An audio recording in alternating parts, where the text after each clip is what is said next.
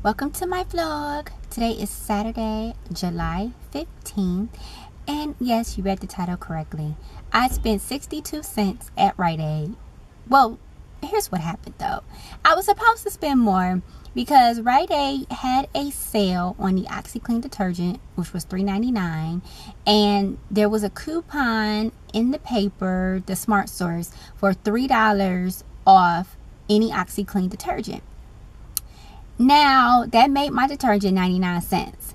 They also had a deal on the Crest mouthwash. It was a sale for $4 and I had a dollar coupon from the P&G which made it $3 plus you get 300 plenti points back, which technically speaking makes it free.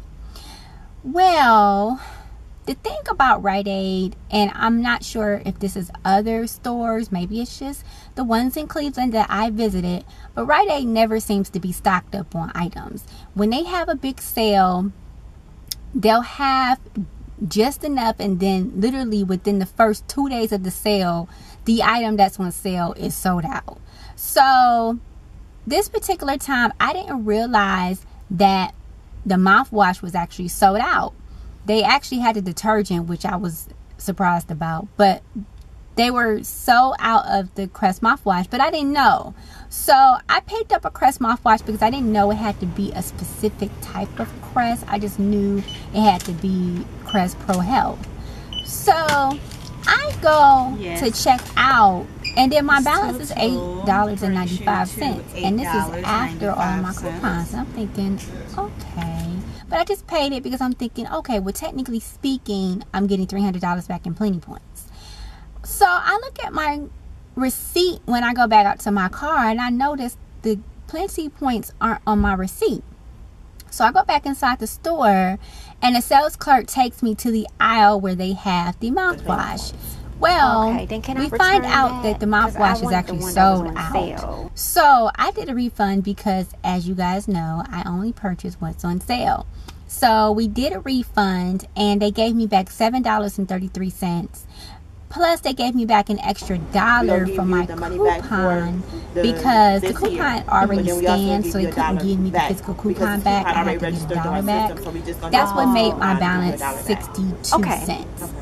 But today's video is all about Giant Eagle. I actually had a really good Giant Eagle trip. I had quite a few free items.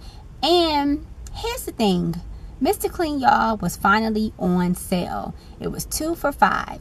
Now, as you guys know, I've been waiting for a Mr. Clean coupon from the P&G. Usually, P&G gives me a 75 cent Mr. Clean coupon. And as I told you guys before, Giant Eagle doubles coupons. So that would have made my purchase from Mr. Clean a dollar and some change. Y'all, Mr. Clean had a coupon in the P&G for 25 cents. And if it's two for five, I bought one because there's no way I'm buying two. I bought one, and if you double that coupon, that means I paid two dollars for Mr. Clean. I'm so upset with Mr. Clean. Like, why would you give me a 25 cent coupon?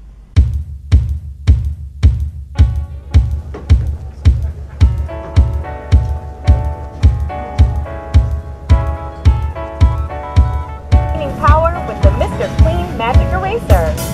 It makes dirt disappear and takes on tough messes all around the house. Would you like to try it?